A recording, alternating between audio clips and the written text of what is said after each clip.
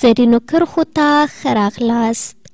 د مور سپېڅلې غېږه د اولادونو لومړنی ښوونځی دی. مور په حقیقت کې د مهر، عاطفې او رښتینې مینې سرچینه بلل کېږي. په دې اساس مور د انساني ژوند او انساني ټولنې روزنتون، زانګو او د مور سپېڅلې غېږه د اولادونو لومړنۍ تکیهګاه، پناهګاه او په ټولیزه توګه دغه سپېڅلی او معصوم ذات د نوي نسل روزونکی، پالونکی او ساتونکی بللی شو. که چېرې اوس مهال د نوي پېړۍ د نوښتونو او نوي تخنیک د تکنالوژۍ پرمختګونو ته نظر واچوو، څرګنده به شي چې دا ټول د انسانانو د پوهې او ذکاوت زېږنده ده. چې هغوی ټول د یوې مور په سپېڅلې غېږه کې روزل شوي، پالل شوي، لوی او ټولنې ته د غوره خدمتونو د ترسره کولو لپاره وړاندې شوي دي. نو ځکه ښځه چې په حقیقت کې مور ده، له هر پلوه د بېساري ارزښت او درنښت وړ موجود بلل کېږي. د اسلام مبارک او مبین دین هم تل د مور سپېڅلی او ستر مقام د ستاینې او ارزښت وړ بللی دی. د بېلګې په توګه، له عبدالله مسعود رضی الله تعالی عنه څخه روایت دی، ما له حضرت محمد صلی الله علیه وسلم څخه وپوښتل چې د خدای جل جلاله په وړاندې کوم اعمال ډېر غوره دي؟ پیغمبر صلی الله علیه وسلم وفرمایل، په ټاکلي وخت د لمانځه ادا کول، دوهم ځل چې مې وپوښتل چې بیا کوم اعمال ډېر غوره دي؟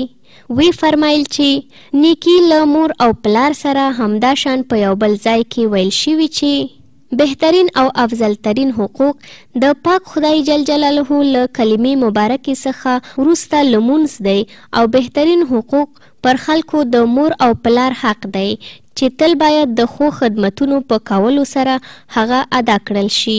بل ځای د ابو هريره رضي الله تعالی عنه څخه روايت دی چې، يو صحابي د رسول الله صلی الله عليه وسلم حضور ته ورغی او ويې پوښتل چې څوک ډېر مستحق دی؟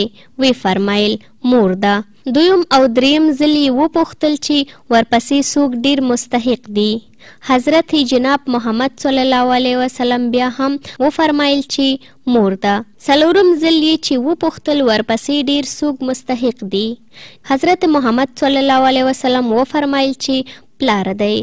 همدا خبره ده چې علما کرام وایي مور له پلار څخه درې برابره زیات حق لري بل ځای بیا هم د ابو هريره رضی الله تعالی عنه څخه روایت دی چې ویلي دي پیغمبر صلی الله علیه وسلم وفرمایل چې په خاورو دې سپیره شي په خاورو دې سپیره شي په خاورو دې سپیره شي د هغه چا پزه چې یا ضعیف مور یا ضعیف پلار ولري یا هم دواړه ضعیف ولري او دا شخص جنت ته داخل نشي البته په خاوره سپیره کېدل د فقر او ذلت عاده او جنت بیا د مور او پلار په رضا کې نغښتي دي دا په دې مانا چې مور او پلار د خپلو اولادونو د ژوند له لومړنۍ شېبې څخه په بشپړه توګه د هغوی روزنه، پالنه او څارنه په رښتینې توګه خپل فرض ګڼي او د انساني ټولنیز ژوند ته د داخلېدو په موخه یې لومړنیو قدمونو اېښودلو ته هڅوي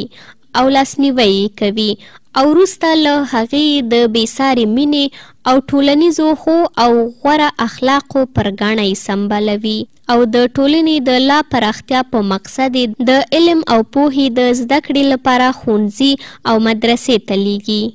د دوی د سالمې روزنې لپاره بې شمېره ستونزې او کړاوونه زغمي، تر څو له هر پلوه نېک کردار او صالح اولادونه د ټولنې خدمت ته وړاندې کړي، نو کله چې دوی په خپلو پښو ودرېږي او د علم او پوهې د او د علم او پوهې لوړو پوړیو ته رسېږي، نو دوی ته هم اړینه، لازمي او ضروري ده چې د خپل مور او پلار ته د ښو خدمتونو لپاره په بشپړه سپېڅلتیا او صداقت مټې را ونغاړي.